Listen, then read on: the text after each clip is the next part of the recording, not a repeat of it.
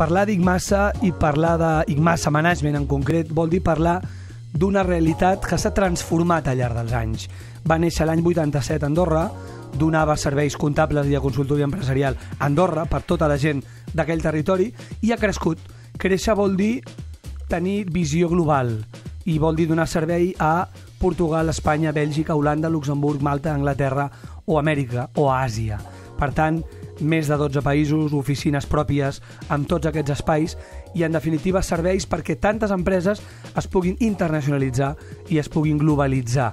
Parlem amb l'home que va fundar aquesta companyia i que n'és el president honorífic, l'Ignasi Maestre. Ignasi, benvingut, bon vespre. Bon vespre. Escolta'm, uh, l'altre dia vas llegir un article que et va impactar. El vas retuitejar, el vas posar a les teves xarxes socials.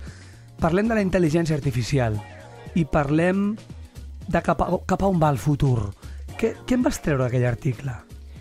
Deixa'm fer una prèvia, eh? la, i, i deixa'm enllaçar-ho amb el programa anterior doncs, la setmana Molt passada. bé. No? La setmana passada estàvem parlant de amb quina facilitat es recullen aquestes dades. No? Si aquestes dades es recullen i simplement s'arxiven, no passa res. El problema és quan aquestes dades es recullen, Es creuen es creuen, es treballen i es manipulen. allò de les mètriques Eh? que diuen, no? Les mètriques i, i la manipulació, I la manipulació. que quedo, penso que em, quedo amb la, és... em quedo amb la paraula. que em sembla doncs, que és la, la, la, la, el kit de la qüestió. No?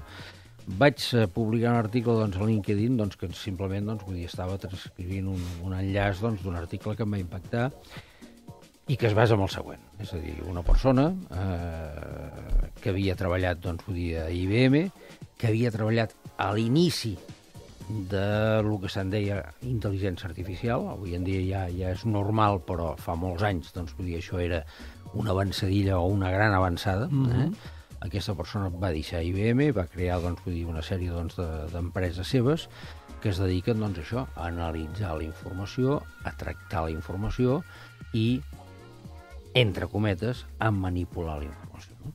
Aquest article doncs, vull dir, em va sorprendre doncs, vull dir, perquè parlava doncs, de la victòria doncs, de Trump i del Brexit com a fruit d'una estratègia eh, feta i muntada per empreses d'aquest grup Sí. eh, o d'aquesta persona que a través de paraules claus, a, a través de pensaments llançats, a través d'una sèrie d'informacions eh? llançades a les xarxes de Facebook i a les xarxes socials, fan que la gent transformi progressivament doncs, les seves idees.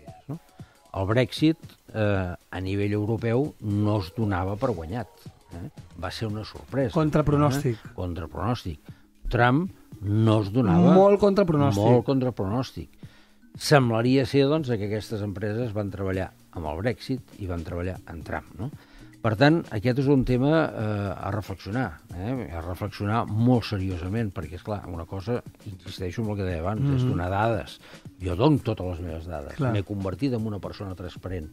Ja no sóc privat, ja sóc públic, però en mans de qui? Absolutament. eh? i en mans de qui i amb quines intencions. Eh?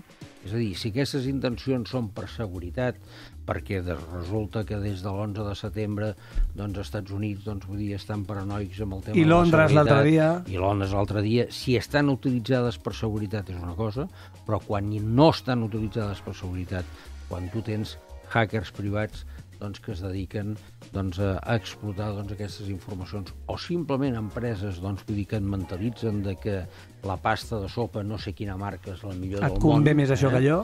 Llavors doncs, ja estem doncs, en un món condicionat. Un món manipulat, I, condicionat. Anècdota final.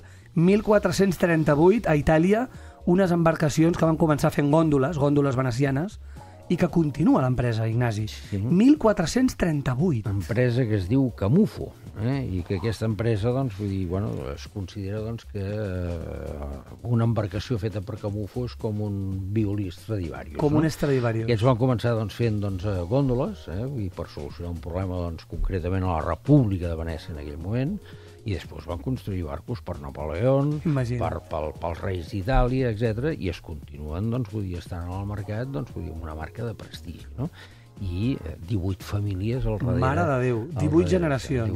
18, 18 generacions, doncs, amb això. Espectacular. Això sí que és una empresa d'aquelles que dius aquesta és, és de, de rancio a bolengo. Sí, Ignasi... I, i fixa't, tot és a Itàlia, eh? No sé Tot doncs, Itàlia, té, sí. Eh? Vull dir, deu bueno, ser, L'imperi eh? romà té, té, L'imperi té un pes aquí eh? important, eh?